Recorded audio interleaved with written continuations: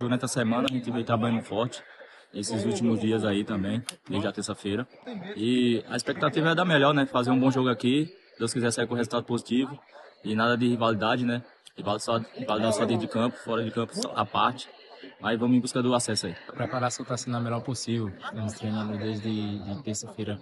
É intenso, forte, esse sol aqui de Souza, mas isso a gente vai virar direito que a gente está acostumado e para fazer um bom jogo no domingo. Durante a semana, a preparação boa, né? Acho que fez tudo aquilo que podia ser feito para essa decisão, né? manter principalmente é, os atletas num, num, bom nível de, de concentração, né? Para que eles possam estar tranquilos para o jogo. A gente está bem preparado. Eu acho que tudo que podia ser feito a gente fez.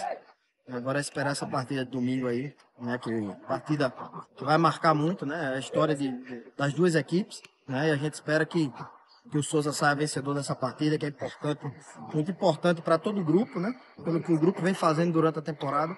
E a gente espera coroar com, grande, com a grande vitória.